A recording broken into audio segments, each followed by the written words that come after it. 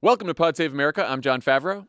I'm Dan Pfeiffer. On today's show, Joe Biden makes it official. House Republicans pass a debt ceiling bill that eliminates health care for millions. Disney sues Ron DeSantis.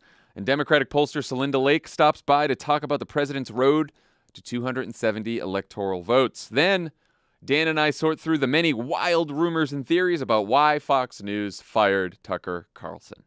Fun stuff. All right, let's get to the news.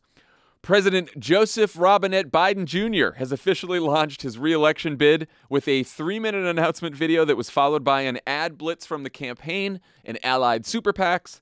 Let's listen to some of the announcement video. But you know, around the country, MAGA extremists are lining up to take on those bedrock freedoms, cutting Social Security that you paid for your entire life while cutting taxes for the very wealthy, dictating what health care decisions women can make, banning books, and telling people who they can love all while making it more difficult for you to be able to vote.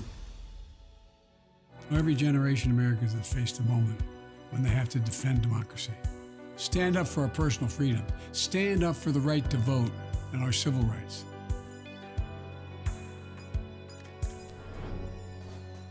And this is our moment. Let's finish this job. I know we can. Because this is the United States of America. There's nothing, simply nothing we cannot do if we do it together.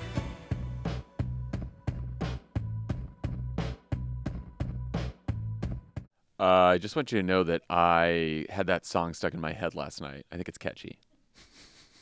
like I like the music. Uh, two questions, Dan. What did you think of the video, and why aren't you wearing the Dark Brandon T-shirt that the campaign is currently selling on its website? To answer your second question first, it's because the mail has not arrived today. Okay, that's fair. That's fair. All right. Yeah. okay. I want next time next next Thursday. I want to see those two glowing red eyes on your shirt while we record this. Okay. All right. I'll do it on Thursday too, because that's when we do our pod. But Thank you. yes. Um, I thought the video was very good. It was upbeat, optimistic, as you mentioned. It had very catchy music. It framed the race in on very favorable terms to Democrats. It tried to remind people of why they felt so good about Joe Biden and Kamala Harris, both in 2020 and then at various points in over the course of the first few years of the presidency it and i think it didn't seem like a typical political ad. So i thought the audience for these things is not the persuadable voter who's not going to tune in for a year and a half now. It's for people who are already engaged in politics. And if it wants to get people to what they what you want in your announcement video is people to give money and sign up to volunteer. That's just ad i think it thought it hit all the right notes to achieve that goal. Yeah, I sort of uh, dissect these videos like frame by frame because when I was a speechwriter, uh, you could write a five, six, seven page speech and just put in everything you wanted. And then a couple times, Ax asked me to Axelrod asked me to help with like an ad or two. Man, that's hard because you have you have and this is three minutes, but usually you have like thirty or sixty seconds, and you try to write a script, and the script is obviously way too long, um, and so you can't. You you really have to choose carefully what you want to include in the video. So I was interested in what they decided to include, like they open with January 6th and Dobbs, images of both, and the Supreme Court. Um, they talked about freedom a lot, also democracy, wanted everyone treated equally, protect everyone's rights, give everyone a fair shot. And then when he hit MAGA Republicans and talked about that movement and talked about them taking away freedom, he picked cutting Social Security, dictating healthcare decisions for women, banning books, telling people who you can love, and making it more difficult to vote. Um, I thought it was an interesting choice that the, you know, in the lead up to 2022, the message from Biden was mostly about the uh, about abortion and about democracy. I think that their paid ads were much more economy. But it was int- what what do you think about the fact that this was heavy on democracy and freedom and lighter on uh, economic messaging? I was surprised by that, and I think somewhat pleasantly surprised because there had been a, Ron Brownstein, who writes for the Atlantic and CNN, wrote a wrote a story or a column a couple months ago about how Biden would handle these culture war, quote unquote culture war issues, which is a term I hate to use, but I can't think of a better one right now. And in that story, he quoted some people in the Biden operation saying that they were going to avoid taking the bait on these things. Their primary and main focus is going to be on the economy, and that they were going to that that was just sort of noise on the outside. And so to see them lean in here, I think I thought that was not a viable strategy in this political environment.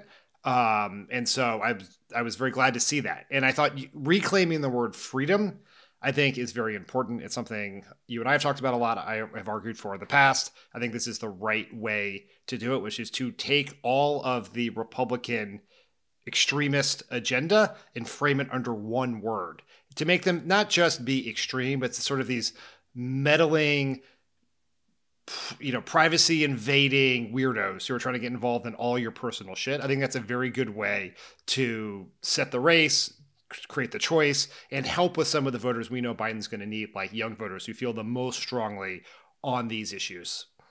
Yeah, and like you said about intended audience, I think videos like this are probably for an audience of people who have probably been quite politically engaged since 2016, who've probably not only voted in all these elections, but maybe volunteered, who pay close attention to politics, and I think who care about these issues quite a bit. And I think that as you try to message to sort of um, a lot of more working class voters, there'll probably be more economy. Though it's interesting, uh, you know, I, I talked to Celinda Lake. We'll hear that interview soon. Um, she she was talking about how this freedom message landed with a pretty wide swath of voters from different backgrounds, different education levels, uh, et cetera. And so I do think that, you know, it gets to something we always talk about how like, you know, Democrats talk about issues too much and Republicans talk about make it bigger and make it about values. He really th- this was a an announcement video that was all about values and the value of freedom and I think it's so ingrained in the American experience that um, it will resonate with people who also don't pay close attention to politics when I was listening to this this video and the ad that we're going to talk about in a second, I was I harkened back to the interview you did on offline with Lynn Vavreck, who wrote the who has written the analysis of all the elections and talks about the era of calcification of politics. But one thing that I think embedded in that interview that is really worth paying attention to is the idea that in the 2020 election, even though a lot of Trump voters agreed with Democrats on a lot of policy issues, those issues were secondary to issues related to identity, to uh, sort of the freedom agenda you're talking about here, right? Uh, abortion, r- marriage equality, the the LGBTQ plus rights, and on both sides for people who agreed with it it was more important, even if they disagree with Democrats on the economy, they would side with Democrats there. And then the reverse is true. And so that I think that dynamic is playing a role here. This does not mean the economy is not going to be a huge part of this election. And I don't know if Celinda Lake made this point to you in this interview, but she made it when I talked to her a few months ago. No person has ever won the presidency in the modern era while losing on the economy. And yeah. Biden has a lot of work to do there. And they clearly are going to spend a lot of time trying to rebuild his numbers on the economy heading into the election. Just can't do that right this second. So this is for where they put the focus. Uh, you mentioned uh, the ad to Biden campaign and DNC uh, released their first one, a 90 second spot called Flag. Um, relatively small ad buy, seven figures. It will run nationally on MSNBC and locally on TV in Arizona, Georgia, Michigan, Nevada, Pennsylvania, and Wisconsin. Uh, here's a clip. As the sun rises, we raise the flag, a symbol of all that we hold most dear as Americans courage opportunity, democracy, freedom. They're the values and beliefs that built this country and still beat in our hearts. But they're under attack by an extreme movement that seeks to overturn elections, ban books, and eliminate a woman's right to choose. Joe Biden has made defending our basic freedoms the cause of his presidency. Since you host a hit show on our YouTube channel about ads called Political Experts React, why don't you go ahead and react? As, as a faux political expert, I shall react. so it, it, it's interesting to sort of think of all the various pieces of Biden content as sort of like these nesting dolls. So you had the State of the Union, which had everything, and then you have a three minute video, and now we're down to a 90 second video. And in each stage, as you get smaller, more stuff drops out. And it is very notable what stayed in this 90 second version is the huge focus on a Republican extremist attack on freedom. Why do you think 90 and not 60 or 30? 90 felt long to me. That's because you're you've spent too much time on Twitter, like myself, and so 90 seems like an impossible amount of time. You're like, that's like 19 TikToks. Like, I can't do it. I know, but so, I, I, don't think we're alone. no, I think the way to think about this ad is once again, this is not, they are not trying to persuade the up for grabs voters who are going to decide the election. Those people are not watching politics, they're not engaged with politics or not. Most of them probably have no idea that Joe Biden just announced a reelection. They may not know he's planning for reelection. Even if they did, historically, they are not going to decide until weeks before the election. We are 18 months out from the election. So what this ad is doing, I think it's a very smart way to think about modern communications is it is spending some money to improve the information environment in which your announcement is happening. Because Biden knows his video is going to go out there, that'll get some circulation. It'll be mostly a lo- there will be a lot of right-wing media reaction to it, which is dominant, and then you're going to have mainstream media reaction, which is going to be infected with but Joe Biden announces, despite low polls or concerns about age, so you put out a piece of content on your terms that's seen by your people, which is why it's on MSNBC and why it's happening in the battleground states. And, and for that environment, 90 seconds is a totally, I think, useful uh, length. If we were trying to, you know, 15 seconds is better than 30 seconds if you're trying to get the, the less engaged swing voters at the end of an election. Yeah. Um, I love that he's taking back the flag and patriotism. I think that was great. Yeah. Um, I I think that and I liked he uh, the democracy and freedom message worked here. It's interesting. Like, I also like that he is framing it as an extreme movement. Like he, he did two things. First, he said democracy should not be a partisan issue, which is the clip from the State of the Union. And he also said there's an extreme movement that's trying to overturn elections, ban books, and eliminate a woman's right to choose. And I do think that it's uh, he, he's trying to square the circle here on these two things. But like, I do think it's important to give people the permission structure to say, you know, this isn't the Republican Party I remember. This is an extreme movement. And it's not about, it's not for partisan reasons that I want to vote against them, but it's because they are attacking democracy itself. I think that's like an important. Eh, he's he's been doing that in the midterms, and I think he he did that again here. Um, I also, you know, when the video came out, when the ads came out, I like uh, watched them quickly. Didn't really think about it as I was watching them again closely last night, the other thing that struck me is it really makes the campaign a cause for Joe Biden. And you know, everyone's like, "This guy's running. He's he's 80, 80 years old. Why is he doing this again?" And it's like, you can tell from what he says in these videos and and the thematics here, like the guy gen- is genuinely worried about democracy. He genuinely thinks he can beat Donald Trump, maybe the only one who can beat Donald Trump, and he might be wrong, but at the very least, like you can tell he genuinely believes that. Like this is a real cause for him. And I do think that's important to start out a campaign like that. Is it particularly important for Joe Biden given what the polls show about the number of Americans and Democrats who think he should run again? Because there is this like common sense question. We all have parents or grandparents who are Biden's age and they're like, do you want your dad to be president of the United States? Absolutely right. not, right? Or right. and so it's like, why is he doing it? This is why he's doing it. Every campaign needs a rationale for why you and why now. And these ads begin to make that case. I think in a pretty compelling way that is authentic to Biden and his original decision to run for president in the first place, which people asked even then, given everything that had happened with Beau and in his family and his age, everything he accomplished, like, why are you doing this? This is why. Yeah. Uh, moments after Biden's launch, the Republican National Committee responded with a video that they openly bragged contains 100% artificial intelligence generated images. Uh, let's listen. This just in, we can now call the 2024 presidential race for Joe Biden. This morning, an emboldened China invades Taiwan. Financial markets are in free fall as 500 regional banks have shuttered their doors. Border agents were overrun by a surge of 80,000 illegals yesterday evening. Officials closed the city of San Francisco this morning, citing the escalating crime and fentanyl crisis. Who's in charge here? It feels like the train is coming off the tracks. Okay, uh, first question What's with the AI angle? Uh, like, has the Republican Party not had enough problems with reality? Was this was this just a just reminding people that was this just like a stunt to get attention? Yes, it was a stunt to get attention. That's absolutely was. And guess what? It worked. We're talking about it. We're talking about it. I think there are a few things about the AI angle of this. One, it I is a piece of shit ad. So I think humans should feel pretty good about our coming battle with the robots for our jobs. Like it's not there yet, right? Second, the fact that AI is used here is irrelevant.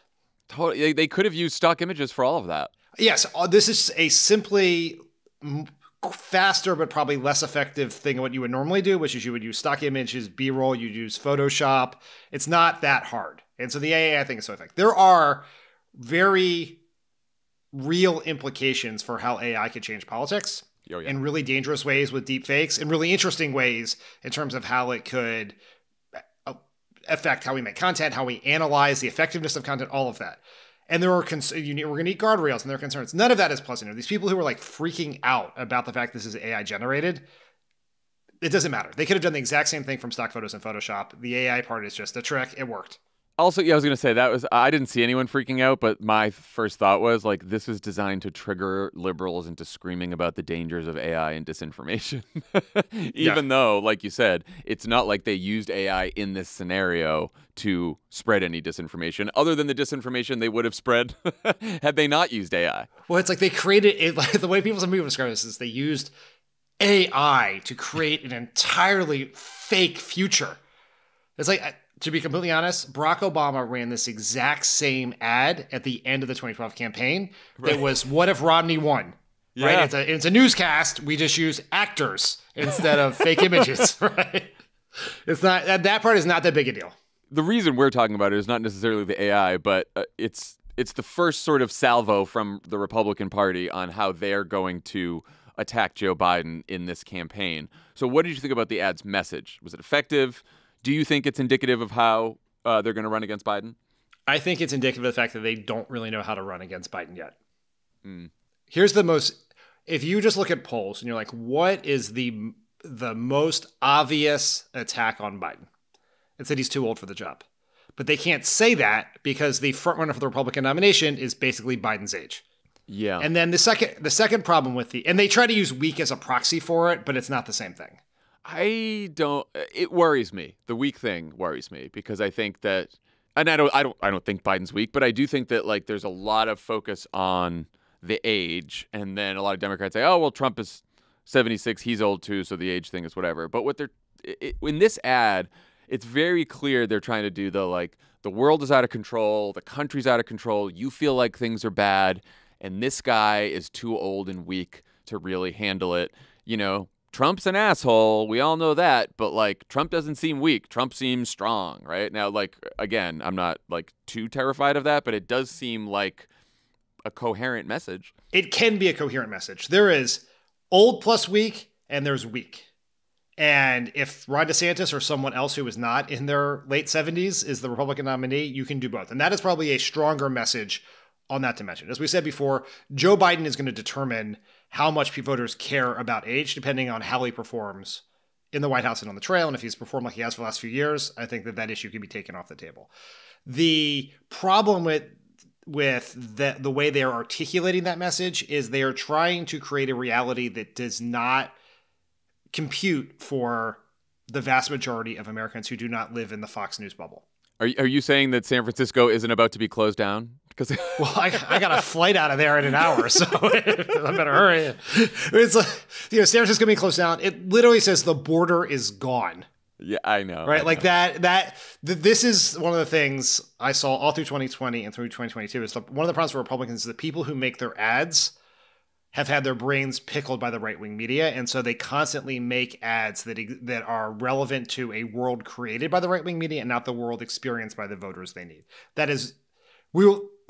This video, like the original Biden video, is for a certain audience. It's for RNC donors. I'll be interested to see if they if that this problem will continue, but it continued all through the ads in 2022. Yeah, I guess I have a little PTSD from uh, 2016 when I felt like the whole election I was saying like, you know, these wrong track numbers they don't really capture uh, how people are going to vote, and people are tend to be grumpy, and and the Republicans talking about and Trump talking about how dark everything is and how awful everything is and how the country's falling apart. Like that's not really going to work. That's not optimistic. And then, uh, and then we know what happened. Um, so I guess yeah, I, I it's clear that it's an ad that tries to, like you do if you're running against an incumbent, try to make the election a referendum, right? Like things are shitty. Joe Biden's the president. Give us a chance. Um, and I imagine that's going to be harder to do when um, Donald Trump is your nominee, if Donald Trump is your nominee. um, let's talk about Biden's path to 270. Uh, Nate Cohn has a pretty good piece in the New York Times about the president's reelection prospects at this point, uh, a year and a half before election day. Though I might quibble with the lead, which says, quote, Some might feel that President Biden's reelection is all but a done deal. uh, if those people are out there, I would love to get my hands on whatever drugs they're taking. you know, Democrats famously confident and cocky about elections. it's like Elijah, thankfully, I put that in Slack and was freaking out about it. And I was like, yeah, that's pretty bad. That's pretty bad. Um, Nate goes on to write on average, Mr. Biden leads Mr. Trump by 1.4% so far this year. Mr. DeSantis even leads Mr. Biden by less than a point. Let the freak out begin. Uh, why is this race, and especially if it's a Biden Trump rematch, so close? Because the last Biden Trump rematch was decided by like 40,000 voters. As I, I, we just had this is the nature of American politics. It is happening on the margins in a small handful of states. The last, I said this last week, I'll say it again. We have to remember the last two presidential elections were decided by a total number of voters that was about the size of a of the number of people who sit in a college football stadium on a Saturday. It is like 120,000 voters. That's what we were talking about here. It is it is going to be close. We should assume it's close. We should act like it's close. That that is the reality of politics. Now, if we had a popular vote election, it would not be close. The, the margins have been getting larger for Democrats over the years. But within the context of the Electoral College, which trends Republican, we should expect a very close race. Yeah, and that's, you know, regardless of which candidates are running. Uh, now, what we've learned over the last several years, regardless if there's a pandemic, a recession, indictments, an insurrection, like you know, very few things are shifting in a significant way where the electorate is, at least in the Trump era. That doesn't mean that can't change, right? Like we thought things were going one way, and then 2016 sort of upended everything, partly because of Trump. Um, but as for now, 18, 20, 22 have all been pretty much, you know, the the, the electorate has been pretty uh, pretty much the same. Um, we talked a little bit about uh, Biden's low 40s approval rating on Tuesday, but I know you wrote a message box about it this week. What's going on there? Can he win with those numbers? Can he improve them?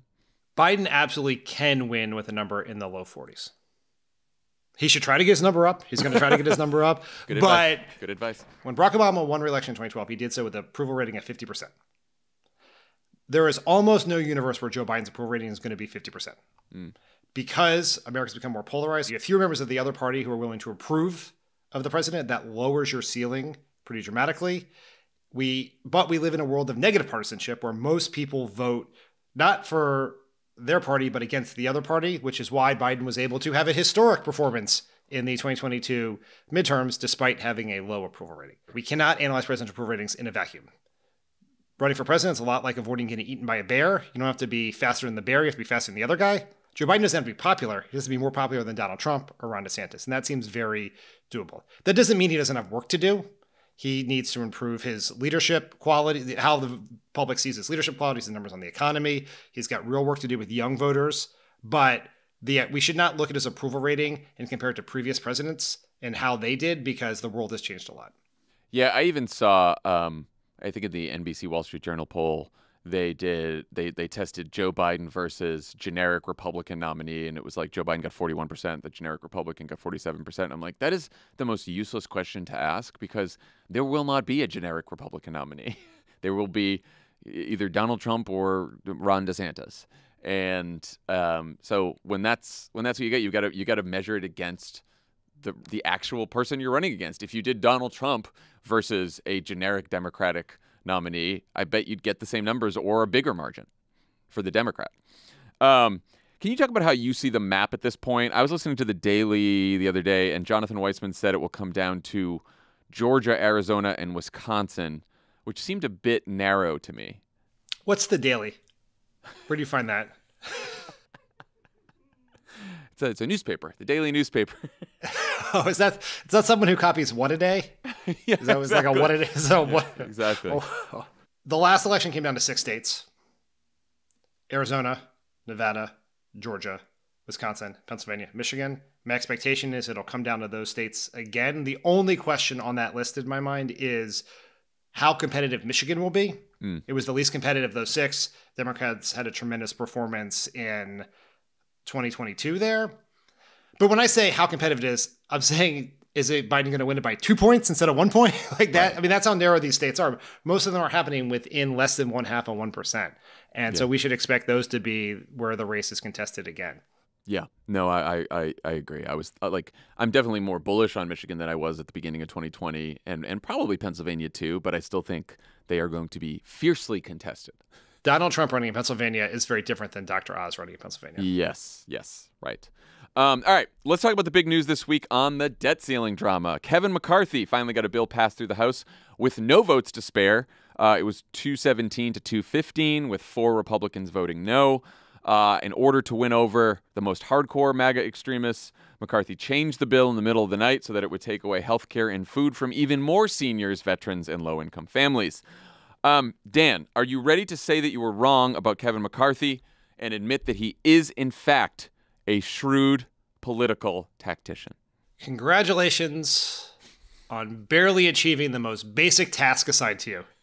like we we are in participation trophy culture for Kevin McCarthy. That is for sure. It was the whole most of the playbook this morning was just like uh, a lot of people showering uh, Kevin McCarthy with uh, with compliments. Oh, we had it all wrong. He really he really figured this out. I was like, okay. he passed a bill with all people who voted for him as speaker congratulations for not falling on your face while walking seven feet consecutively. Yeah, I also think that he he has a bit of an easier job in the sense that like, you know, the Freedom Caucus basically made a bunch of demands. He gave in. He doesn't really have to worry about moderates getting pissed off because all the moderates are gone. And the people who are now the most moderate in there are, they never really had a lot of juice anyway. Their numbers are small and they all folded. Like Nancy Mace was like, "Oh no, I won't I won't vote for a bill that has stricter work requirements on Medicaid. That's bad. I don't want that." And then she voted for it in the end. Yeah, I mean, and what is she going to do? Not vote against it? Cause Kevin McCarthy lose his, his speakership and end up with Marjorie Taylor Greene as her boss? Like, yeah. I mean, this was this was always going to happen, and it's Kevin McCarthy's advantage in life is he has no principles, and so there's nothing he won't do to achieve a short term, even if it has long term or even medium term consequences for his party and certainly for the country. I think that's an important point too. Is that he's like it's it's very Trumpian and that like you just get through the news cycle, right? You just get you get to the next day, and there's a bunch of Freedom Caucus people who are like, oh, well, we told them we'll vote for this, but if you don't include everything that was in this bill in the in the final debt ceiling bill, we're not we're not voting yes. It's like, well, guess what? It's that you're not going to get everything that was in this bill in the final bill, even if you were just even if you were just negotiating with Senate Republicans, let alone Democrats.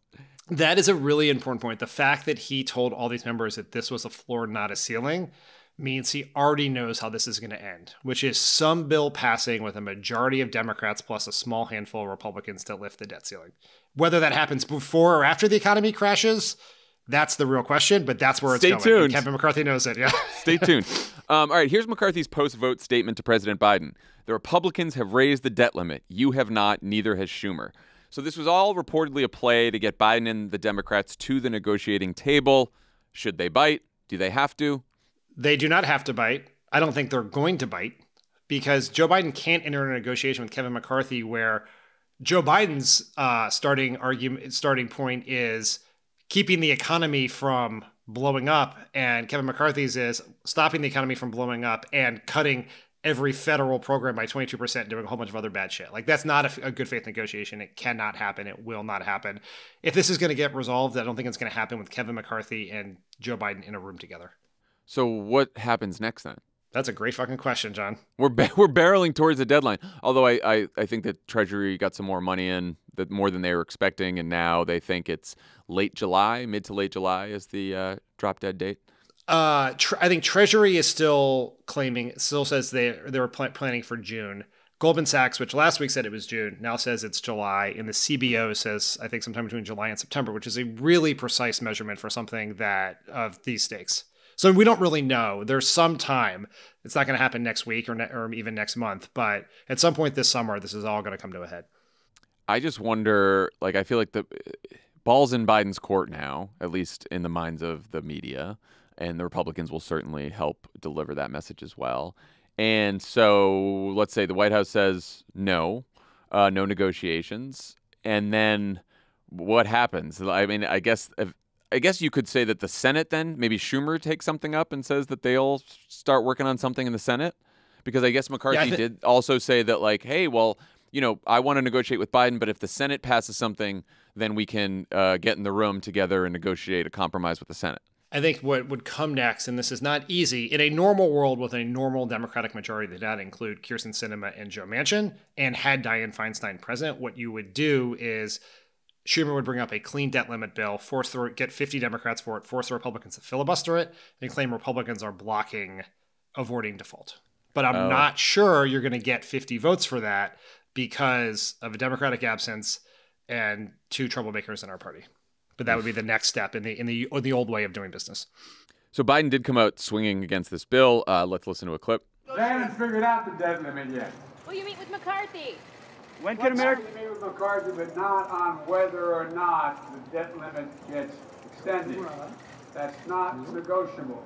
I notice they quote Reagan and they quote they quote Reagan all the time and they quote Trump, both of which said it says I'm paraphrasing.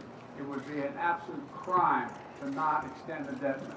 So that was from Biden. The White House has also been, uh, you know, tweeting about how this bill would cut veterans' health care, meals on wheels for seniors, health care coverage for millions, would send clean energy uh, manufacturing jobs overseas. What do you think of all this messaging from the White House? And are there any other arguments you'd make uh, about this bill?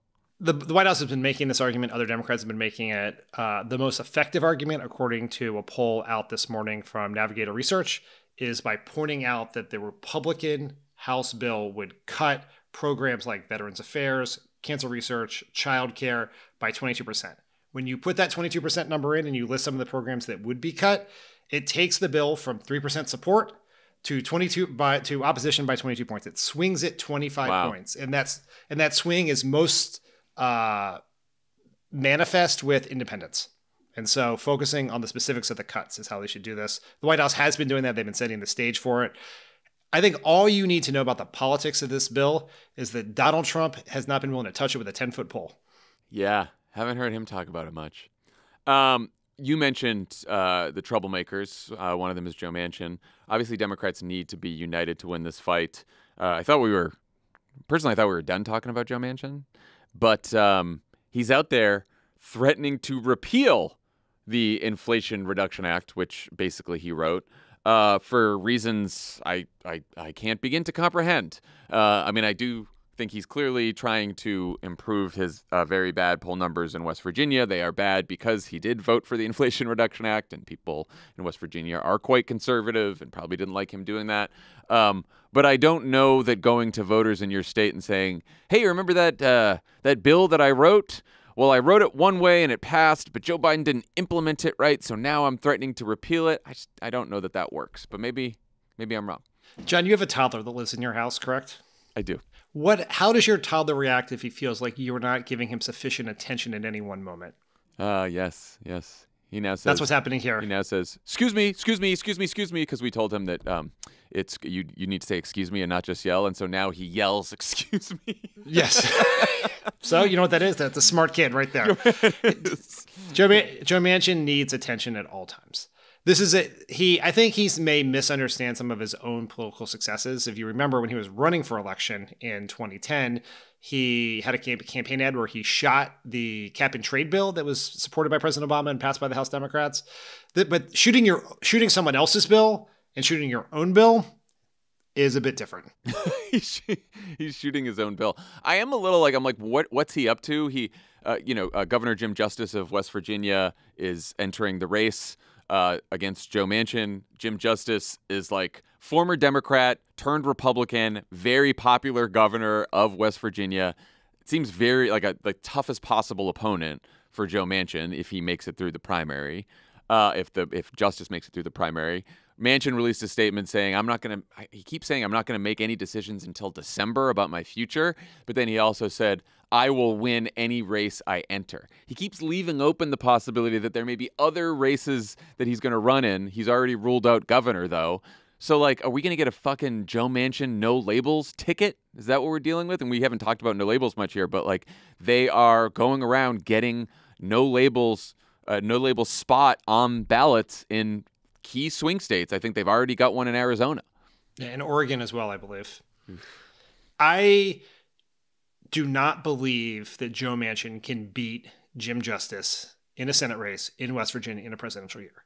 I feel the same way. Joe Manchin barely won in 2018 against a massively flawed opponent. He was running against a unpopular attorney general who was all mobbed up with the opioid industry in West Virginia. that, is a, this, that is not Tough record. Uh, a good candidate. Yeah. And so if he's running against Jim Justice, who's going to get Trump's endorsement, he is a former Democrat with Trump credentials. He's not going to win that race. And so there is a very real possibility. We, you know, as we say, we worry about everything, panic about nothing, but we should be worried about Joe Manchin running for president on some independent ticket. And when we talked all about, you know, your fears about 2016, the reason 2016 happened one way and 2020 happened a, happened a different way. In 2016, Donald Trump only needed 47% of the vote to win. Yeah. In 2020, he needed 50, so he lost. If we get to a point where there's a third party candidate who can take a significant chunk of votes, and by significant I mean three points in a battleground state, yeah, Donald Trump can easily win one, any of these states. He's got 47% on lock in these states. Less than three percent. yeah. Right. I mean, it's like yeah. And, and also, it doesn't have to be in every state, right? Like, say it was just Arizona. It could come down to Arizona, and Joe Manchin Yeah. could pull 1% in Arizona and still fuck us. Just remember, Jill Stein received more votes in several of the states that decided the election 2016 than the margin of difference between Trump and Clinton. All right. Uh, there's the, everyone enjoy Let's, that. end, let's end on a high note. All right, one last piece of fun news before Celinda joins. Disney is suing Ron DeSantis for what they're alleging is a quote targeted campaign of government retaliation. The lawsuit came just minutes after DeSantis' goons voted to nullify two agreements that gave Disney control over their resort complex. From the Disney statement, quote, Disney finds itself in this regrettable position because it expressed a viewpoint the governor and his allies did not like. In America, the government cannot punish you for speaking your mind. Uh, NBC has also reported that Tiny D is uh, planning to launch his exploratory committee for president in mid May. Um, you think being hit with a lawsuit from the most uh, beloved company in America is a win for uh, little Ronnie Puddingfingers? Kinda. I kind of do. Yeah, go ahead. Go ahead. Tell me why you think that is. He's probably going to lose this suit, and that will be bad for him. And it's and the reason Disney's doing this, and based on a lot of what I've read, is it's not just DeSantis. Obviously, they have some real stakes here, but you can see every Republican governor doing this. And so, any place where they have business interests, they need to win a win a case here to that sets a standard that protects companies from, I don't know, just expressing their public their opinion publicly without facing repercussions. Something that might be included in the Constitution. But Republican politics, you're defined by your enemies. And corpor- corporations, whether they're Disney or even Fox, are incredibly unpopular among the Republican base. You know, we you talked to Celinda today when she did that project on factory towns. The most interesting to me part of that project was if you call Fox News corporate news, Republicans run away from it. It's the best way to hmm. combat Fox News disinformation. And so a corporation suing Ron DeSantis is can be a win for him. Whether he's got the dexterity to make it at least a short-term win for him to be as a proof of his bona, conservative bona fides that he's such a fighter against wokeism or whatever fucking word he wants to use. Like it has opportunity. I don't think it's bad for him right now. I think in a vacuum where there is no Donald Trump and uh, everyone is like, oh, Ron DeSantis, he's, you know, he's the front runner in the Republican primary. I think that everything you said would be correct. I think the existence of Donald Trump now shitting on every single thing that Ron DeSantis does makes this much trickier for him because now it fits in a bucket of, oh, look at this guy. He's flailing. He's sort of he's he doesn't know what he's doing. He uh, you know Trump already hit him once for the Disney thing, and I don't know that it's as clean as it would have been had there be no Donald Trump because now Trump will message to voters, this isn't. DeSantis taking on a big woke corporation. This is DeSantis doing some kind of stunt and he fucked it up and he couldn't do it right and now Disney's going to get him. I think that is that is definitely true. That if it was if DeSantis was in this race alone, or he was just running against Nikki Haley or whoever else, it would be a much cleaner, bigger deal for him. Everything is more challenging for DeSantis because Trump is in the race shitting on him. Eating breakfast is a pain in his ass, right? Like everything is hard. But this is at least a chance for DeSantis to have a news cycle that is about him and him alone. DeSantis has the opportunity to make this be about himself. The one thing we should remember, though, is that we have seen no evidence in any of the polling that any of these voters are hearing Trump's attacks on DeSantis. because they're just they're just uh, truthed out in uh, in Truth Social. like we you and I are missing like 80% of Trump truths because they're not they don't break through anywhere. Apparently, there's this. He had this great statement about um, DeSantis's trip to Japan, which also I didn't really. I would have never known DeSantis went to Japan, except that he gave that press conference where he fucking sounded like a bobblehead doll. Um, and and then Tommy brought it to our attention because I guess he read it on Pod Save the World, and it's like Trump saying that DeSantis is flying home from Japan, and he's like, "Why did I do this? Why? Why? Why am I running for president?" It was very funny. It was very funny. It's it's great. His statement on the Disney thing today is actually pretty smart for general election about how this is going to cost Florida all these jobs. Oh, was that what Trump did? I was waiting for it. I, I couldn't find the statement. Okay. Like, like I said, they're fi- no one hears I them. know, you and I, I don't know. hear them, right? I had to lit- go to the exact URL of the Trump truths to, to find it this morning in preparation for this pod. As it should be. Okay, when we come back, I will talk to Democratic pollster Celinda Lake. Today's show is sponsored by SimpliSafe Home Security. Did you do anything for April Fool's Day, or were you April Foolsed? I don't think I fooled or foolsed. I didn't even remember it was April Fool's Day. I don't remember seeing any April Fool's jokes. It was- yeah, I it think was a it's the, its moment has passed. It's done. Well, when it comes to your home safety, the only fools should be those who try to mess with it. How about that? That's why we recommend a security system that's no joke. SimpliSafe Home Security. SimpliSafe is award-winning protection that keeps your home and your loved ones safe around the clock. Here's why we love it. I set up a SimpliSafe, and it comes in the mail. You set up the base station and the keypad. You put on the sensors wherever you got windows, doors, and uh, you know portholes. Put a couple of these guys on your portcullis, on your moat, on your trapdoors, Ooh, trapdoors. on your. How many trapdoors you got? Uh, well, you tell someone you got a trapdoor, Oh, so much yeah, of a trap yeah, is yeah, it? yeah. Uh, but it but it works great. It looks great, and the app is the best of the apps. So get it. SimpliSafe is designed with cutting edge technology and backed by 24 7 professional monitoring. In an emergency, agents use Fast Protect technology only from SimpliSafe to capture critical evidence and verify the threat is real so you can get priority police dispatch. 24 7 professional monitoring service costs under a dollar a day, less than half the price of traditional home security systems. You can lock and unlock your doors, access your cameras, and arm and disarm your system from anywhere. CNET named SimpliSafe Editor's Choice for 2023. Customize the perfect system for your home in just a few minutes at simplisafe.com slash crooked. Go today and claim a free indoor security camera plus 20% off your order with interactive monitoring. That's simplisafe.com slash crooked. There's no safe like SimpliSafe. Pod America is brought to you by SleepMe.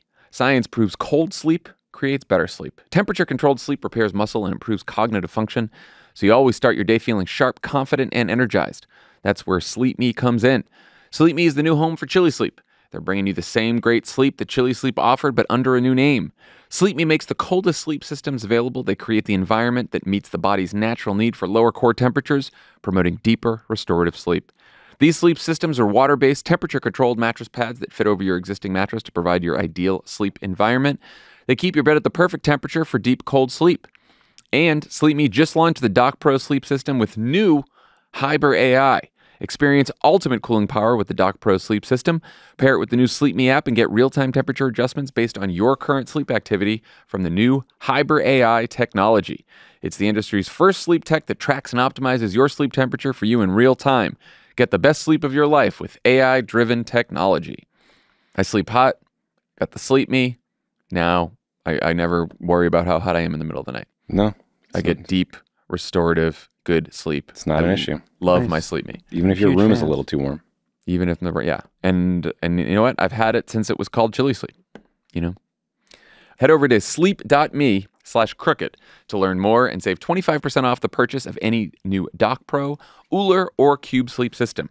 This offer is available exclusively for Pod Save America listeners and only for a limited time. That's sleep, S L E E P dot me, M E slash crooked to take advantage of our exclusive discounts and wake up refreshed every day. This show is sponsored by BetterHelp. What's one thing you tell your 20 year old self that you'd wish you'd known about yourself then? I would say uh, get a lot of answers to this question because you're going to be answering it quite a few times uh, in about 20 years from now. Aisle seats over windows. Yeah. Were you taking Windows a lot as a 20 year old? You, you, you think the window's cool because there's the view, you're looking out, blah, blah, blah. Yeah, you just get Yeah, out. you got to pee. You Got to pee. Therapy is all about deepening your self awareness and understanding because sometimes we don't know what we want or why we react the way we do. until we talk through things. BetterHelp connects you with a licensed therapist who can take you on that journey of self discovery from wherever you are. If you're thinking of starting therapy, give BetterHelp a try. It's entirely online, designed to be convenient, flexible, and suited to your schedule. Just fill out a brief questionnaire to get matched with a licensed therapist and switch therapists anytime for no additional charge. Anyone want to share any therapy experiences right here? Uh, I will just be honest with everyone, which is that earlier today I got on with for my more for therapy, and I said, "I'm really sorry. I don't want to do therapy today." And and your therapist said, "Do you want to talk about it? And you I want to talk about why? Yeah. What, what, what can we talk Let's about a unpack little bit? this." And I probably should have. Mm. Well, maybe Just you saying can that use, happens. Maybe you can use BetterHelp tonight if you uh, if you're feeling up to it. Yeah, maybe so. Discover your potential with BetterHelp. Visit betterhelp.com slash PSA today to get 10% off your first month. That's BetterHelp, H-E-L-P dot com slash PSA. Joining us now to talk about Joe Biden's path to reelection, one of his top pollsters, veteran Democratic strategist, Celinda Lake. Celinda, welcome back. Thank you. Great to be here. Uh, big week for the president. Uh, what was the thinking behind the messages in the announcement video in the first ad, which were heavy on freedom, democracy, protecting rights, little lighter on the economy? Right. So I'm not speaking on behalf of the campaign here. I'm just speaking as a Democratic pollster. Sure. But um, one of the things that we've been finding in all of the work that we've been doing is the power of the freedom narrative. It's huge out there, and the central narrative of taking away our freedoms. And it's something that was also, you know, is a real through thread for the president. He started with Charlottesville and the soul of the nation, and the, and the soul of the nation is as much in jeopardy today, or more so, because it's been revealed how far the other side will go. So it's a very, very heartfelt thematic. It's tests unbelievably strongly. It's a value. Freedom is interesting because it is the number one word it's the number one value out there, and it's the number one word that the right uses more than the left, Hmm. uh, which is quite ironic right now. So Yeah. we are um, taking it back, and I think the president's speech was a strong part of that. The president, I think there are two pillars to the campaign: the record on the economy, and taking away our freedoms and fighting for our freedoms, whether it's voting, whether it's abortion, whether it's LGBTQ rights. But the other pillar is the economy. Simultaneously to the announcement, of course, the president and the whole cabinet is engaged in a 31 city tour on the economy and on investments from the uh, IRAs. So it's not like it was ignored. It was like these are the two pillars Mm. and they are being spoken to simultaneously, in my opinion. Can you take us behind the scenes in the in the world of Democratic pollsters and strategists on how the freedom narrative sort of came to be? Because I remember Mm. like democracy and abortion rights. President talked a lot about both of those in the lead up to the midterm. So did other Democrats. I feel like the and there was some. uh, You heard some of the some uh, candidates talk about freedom uh, in the lead up to the midterms, but I feel like it really took hold maybe in the last year or so since the uh, since the election. I think it actually really took hold after January 6th. And there had been some freedom messaging around abortion before that. And Anat Shenker-Osorio, uh, who I know you know well Yeah. and adore as much as I do, was really one of the people who developed freedom as such a strong, broad thematic. And freedom of- relates to the economy too. The freedom to thrive Mm. uh, in the economy was a point that she made and has been making for some time. Then, of course, with January 6th, with the voting rights restrictions, with the abortion restrictions, the Dobbs decision, medication abortion, taking away our freedoms became a very, very prominent theme. The freedom to be represented by who we want to be represented by and not have them silenced on the floor of the House. There are just so many things happening that people thought were completely uh, unlikely to happen. And many of them people think, is this even legal? Like, don't I get to vote for who I want? And you can't tell them they can't speak on the floor. Um, so that has been the push in this last year. There were quite a few candidates who actually ran on freedom in 2022. And it's been a very strong thematic since then because the Republicans keep making it stronger and stronger for us.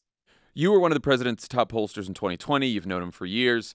In your view, what do his current low 40s approval ratings and, you know, lack of enthusiasm among some Democratic voters not capture about his strengths as a candidate in this race? I think there are three things. I love your question. Thank you. Um, I was expecting another one, but thank you. um, I think number one, that we beat Trump already. Seven million more votes. I mean, this wasn't a, uh, you know, a hundred vote margin. Seven million more votes, and that was before January 6th. That was before Dobbs. It was before Trump was indicted for everything under the sun.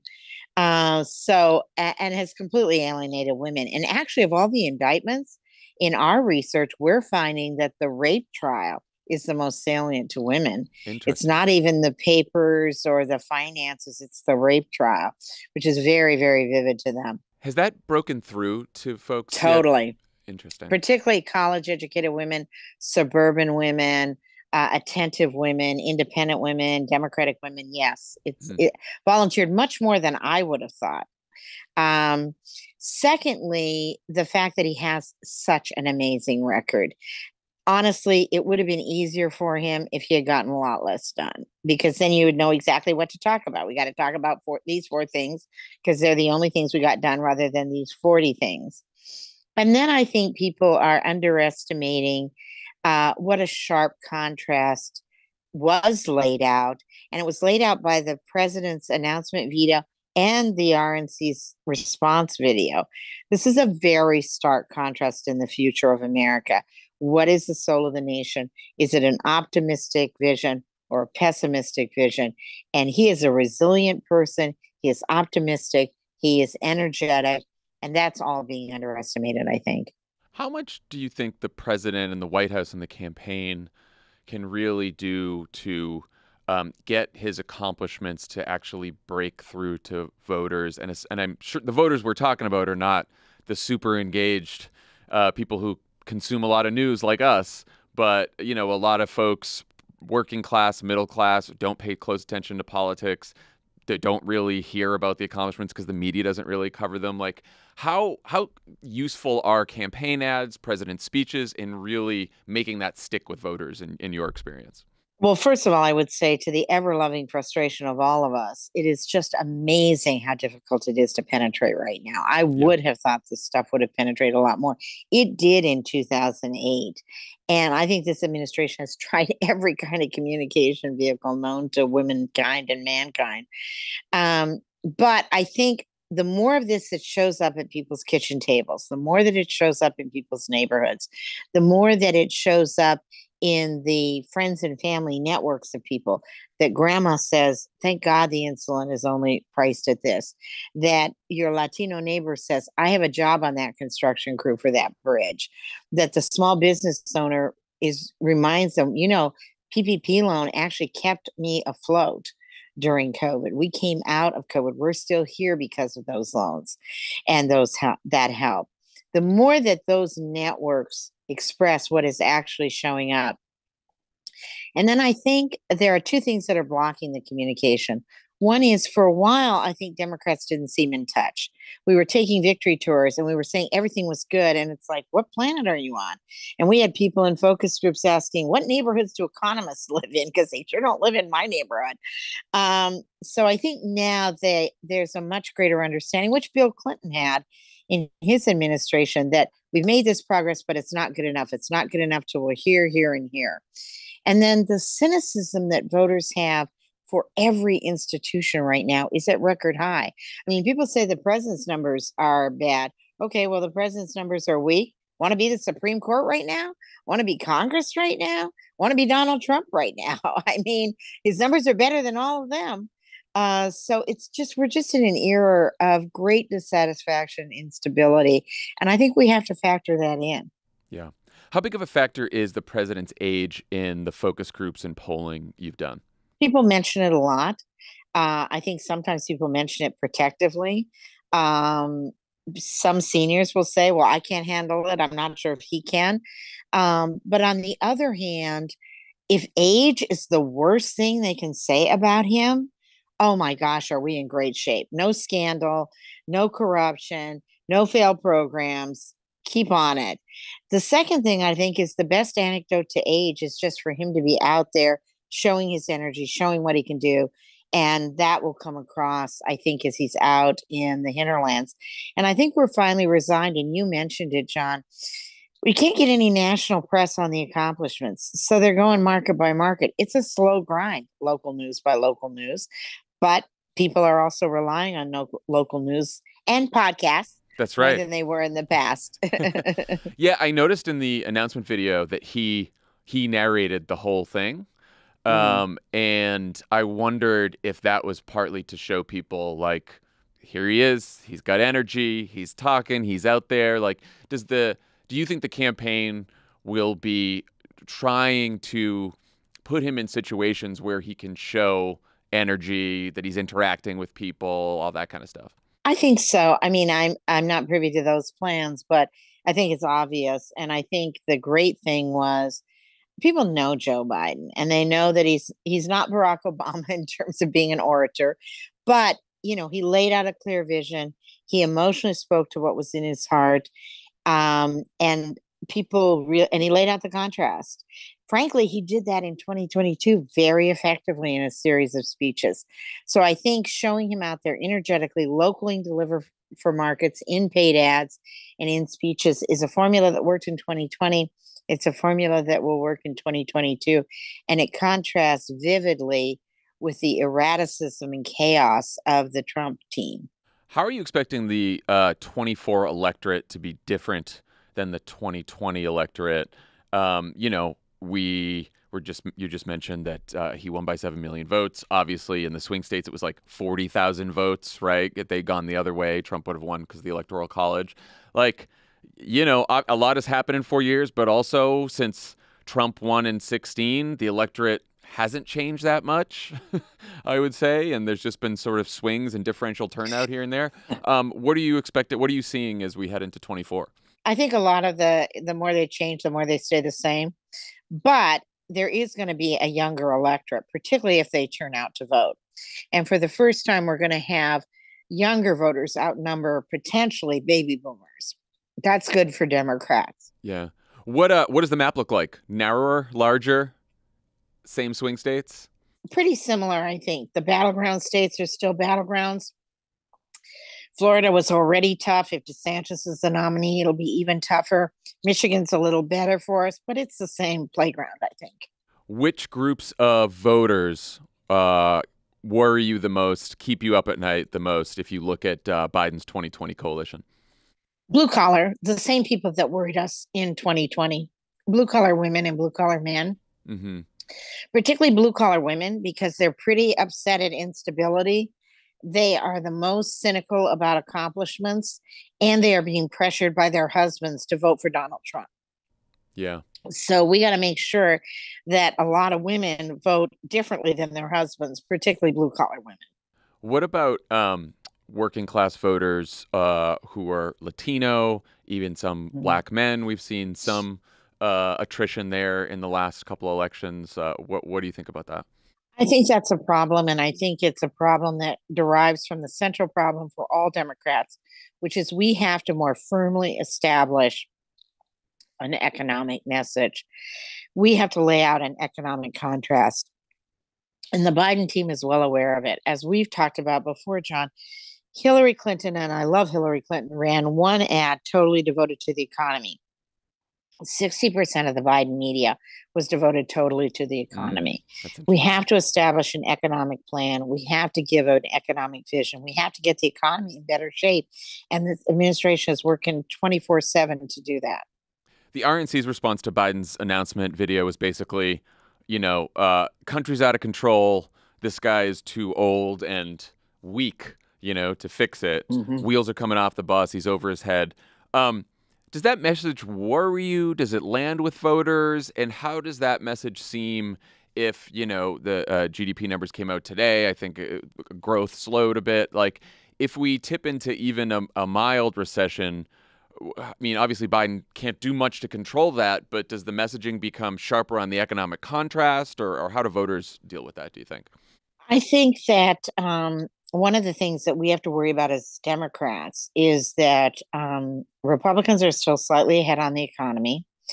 and um, that's generic Republicans. Mm. And uh, Trump economics is still perceived to be better than Obama economics or Biden economics. Wow. So that's why we've got to stay on this message. And, you know, it's back to the future. As James Carville said, it's the economy, stupid.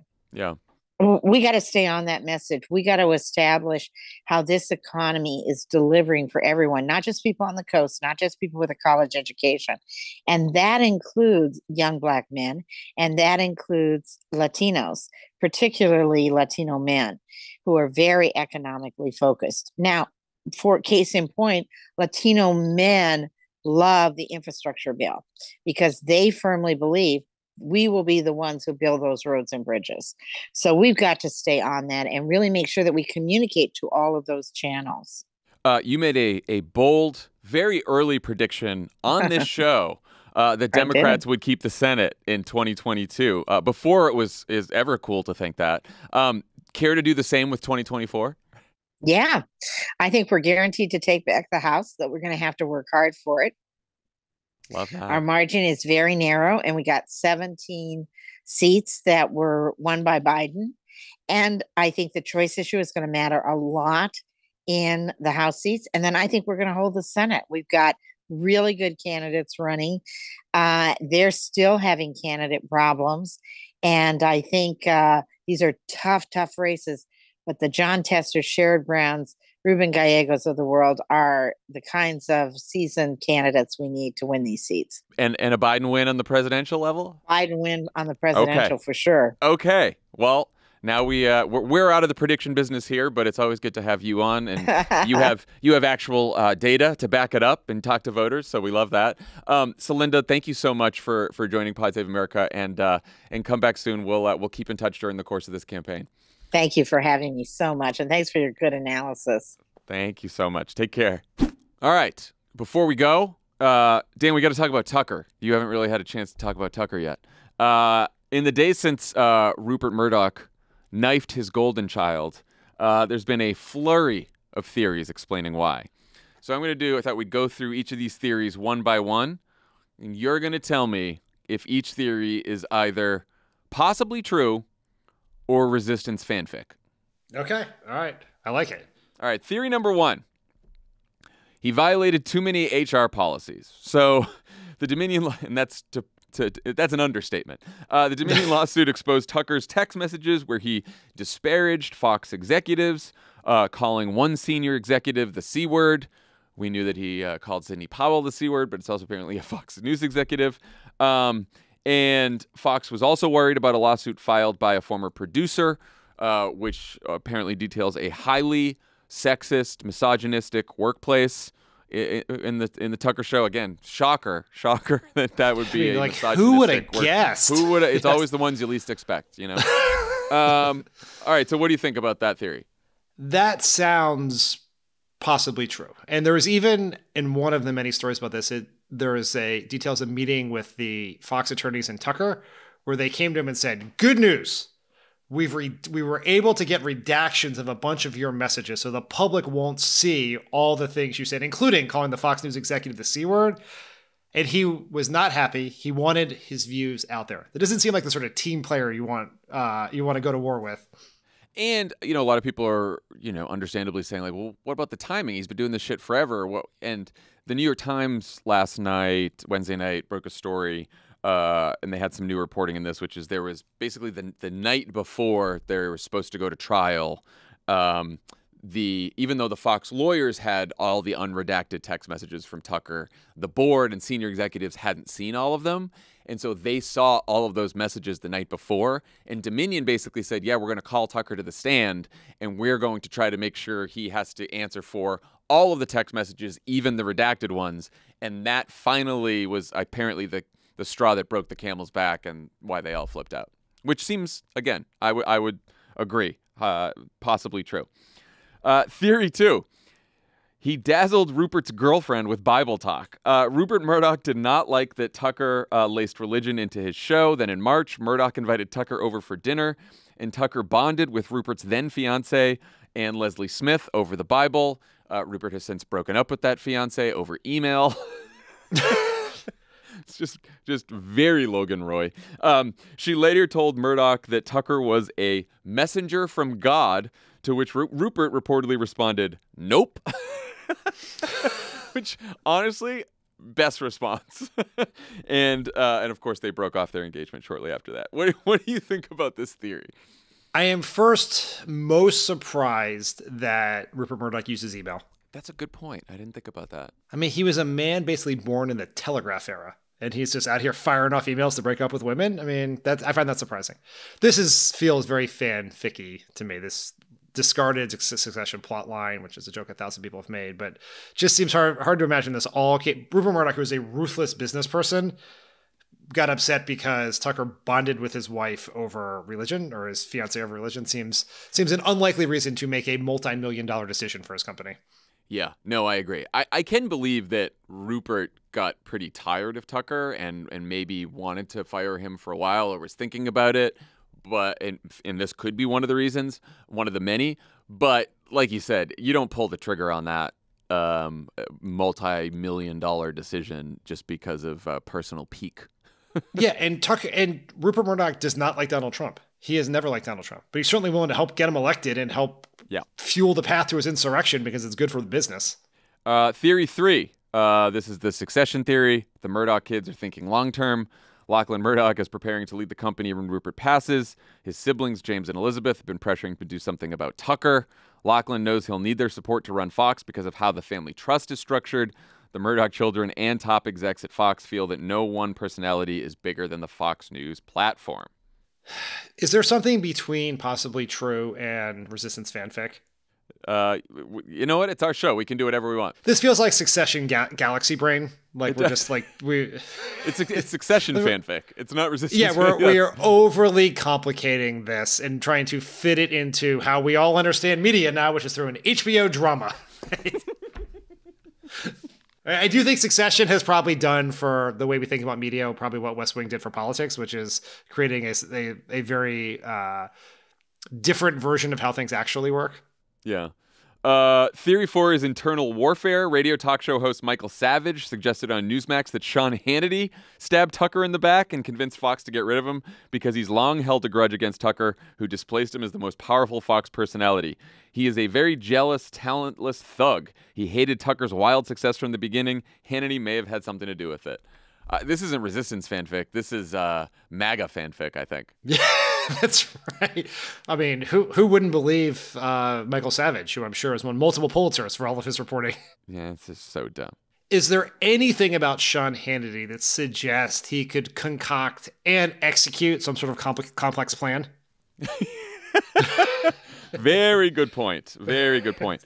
Uh, theory five ratings don't equal money. The Wall Street Journal reports that despite being the highest rated show on the network, Tucker's show didn't make big bucks. That's because Tucker's content was so unhinged that the big blue chip advertisers wouldn't buy ad time on his show, so Fox couldn't sell commercials at a premium rate. No, that I don't. That's not fanfic. That is uh, misunderstanding of cable news economics and how and how carriage fees work, right? yes, yeah, right. The Fox News gets a lot of money not by the ads they show, but just by being on everyone's cable box. So all you people who have not yet cut the cord are still paying for Fox, and whether they run ads from Fortune 500 companies or weird virility supplements or gold buying or you know Trump commemorative coins is not is is only sort of marginal to the bottom line. Yeah, there was also a report too. I'll just throw in another theory that like Rupert Murdoch was uh, angry about Tucker's Ukraine war stance. it's Come just on. like you know, you know, Rupert's a principled, principled stance on the on the Ukrainian war, and he just he can't he can't stomach Tucker out there being so pro Putin.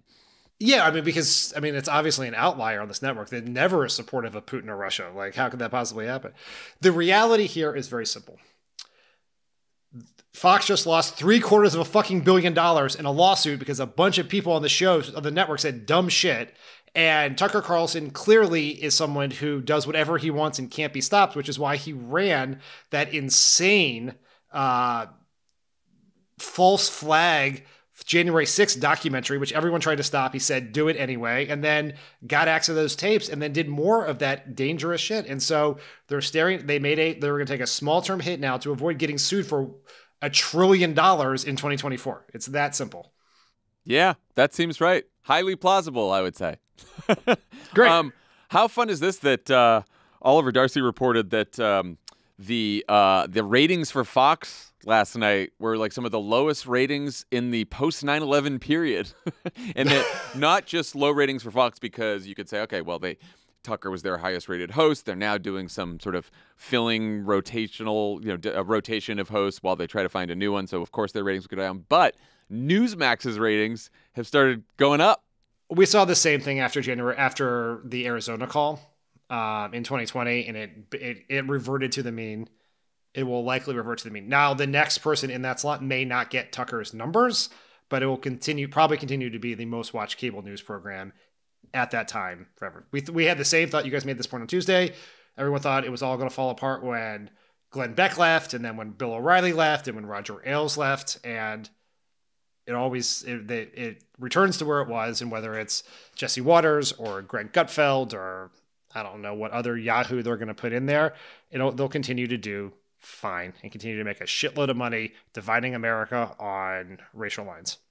One um, material effect of that on politics, I think, is in order to revert to the mean they, and, and not lose audience to Newsmax, I think all these stories about how like the Murdochs are done with Trump and they want DeSantis now and all this kind of stuff, I think that's all gone. I think they're going to go so everyone at the network all in for Trump um, because they don't want to lose. They, they just can Tucker and they don't want to lose his audience to Newsmax. So they're going to be right up Trump's ass now. Yeah, that's right. That's exactly right. That's how that's what happened last time. Yeah. All right. We will uh, thank you to Celinda Lake for joining us and uh, have a great weekend, everyone. We'll talk to you next week. Bye, everyone.